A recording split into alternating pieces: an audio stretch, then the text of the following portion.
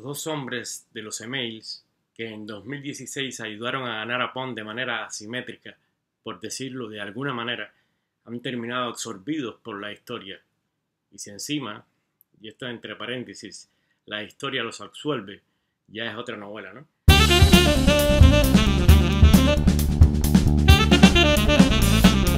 James Coming, quien con su aparición de última hora a propósito de los emails del Crocker Hillary puso a la candidata demócrata en slow motion, como seguramente recuerdan, perdió su empleo al frente del FBI a poco de llegar a la Casa Blanca. ¿no?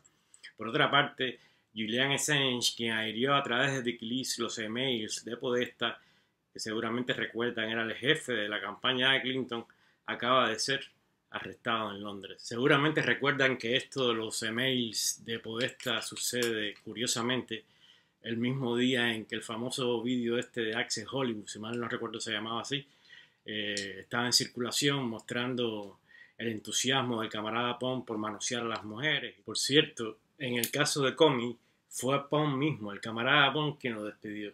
En el caso de Sench, acaba de sacarle el pie olímpicamente, ¿no? Eh, no sé nada sobre Vic no es lo mío, acaba de declarar eh, a la televisión el camarada Pong la misma persona que en 2016 aplaudía públicamente la intervención de los hackers. Ironías de la vida, creo que Pong sigue en la Casa Blanca, convertida ahora en chancleta blanca.